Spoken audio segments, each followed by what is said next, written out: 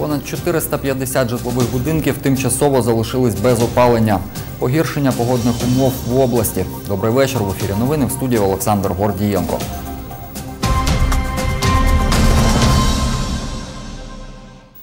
На розі вулиць Погранична та Третя Слобідська тривають роботи з усунення дефектів у тепловій камері. Без опалення залишився 461 житловий будинок. Галина Маруніч живе у будинку на вулиці Колодязна, 35А. Розповідає, про відключення опалення попереджали. Вчора батареї були гарячими, зранку опалення відключили. Температура у квартирі 20 градусів. Ну, неприятно, але я думаю, пережити можна. Якщо... Ну неприємно, але я думаю, пережити можна, якщо правда там щось ремонтують. Позитивна температура на вулиці. Я думаю, ми це перенесемо. Може і правда, у нас комунальне підприємство, головний біль, по-моєму, всього міста. Потрібно розуміти, що система грошей не вистачає. Ну я так думаю. Від ранку працівники теплоелектроцентралі працюють над усуненням дефектів. Директор приватного акціонерного товариства Миколаївської ТЕЦ Юрій Кішко телефоном розповів, це аварійна ситуація, а не планове відключення. ставимо два хомути, і після їх закінчення, коли поставимо, е, ну, подивимося результати і сподіваємось, що все буде добре, і почнемо подавати теплоносій. Щось буде йти не так, ми додатково проінформуємо обов'язково через свою сторінку, але сподіваємося, що все буде добре. Станом на 16.40 дефект ліквідовано. Розпочато заповнення теплових мереж водою. Через 3-4 години до будинків повернеться тепло, говорить директор приватного акціонерного товариства Миколаївська ТЕЦ Юрій Кішко. Ніна Булах, Юлія Філімон. Новини на Суспільному. Миколаїв. Дощі, ожеледь, сніг та пониження температури. Миколаївщини дістався циклон з Європи. Про це розповів провідний синоптик обласного гідрометеоцентру Роман Мурмило. Протягом 5 числа, фактично, вже з найближчої ночі, ми очікуємо значні дощі у супроводі е, сильного вітру. Е, 6 числа, верніше з 5 на 6 в ніч, е, дощ перейде у сніг, утвориться сніговий покрив по області і на дорогах уже ледиться. Також е, хуртовини і теж у супроводі сильного вітру. Він навіть буде сильнішим, ніж 5 числа. Місцями пориви сягатимуть 25-28 метрів за секунду. Протягом 5 числа температура буде стрімко падати. Е, Зранку буде десь 7-8 градусів тепла, а надвечір вже 0 і нижче нуля. У зв'язку із погіршенням погодних умов Державна служба надзвичайних ситуацій попереджає про можливе порушення руху транспорту на окремих ділянках доріг і вулиць, а також порушення електропостачання та роботи служб комунального господарства.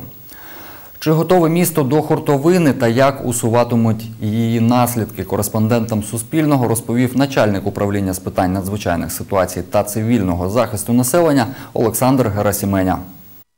Заготовлено более трех тисяч тонн е, піщано Підготували більш ніж три тисячі сипучого матеріалу, піщано-сольової суміші, більше трьох тонн чистої солі, є також чистий пісок, більше 300 тонн.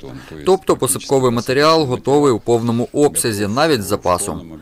Окрім того, в лікувальних закладах у нас є чотири міні-трактори, які безпосередньо працюватимуть по лікарнях. Житлово-комунальні підприємства, які обслуговують житловий фонд, також готові. Є пісок, сіль та 17 одиниць техніки від міні-тракторів до спеціальних снігоприбиральних авто.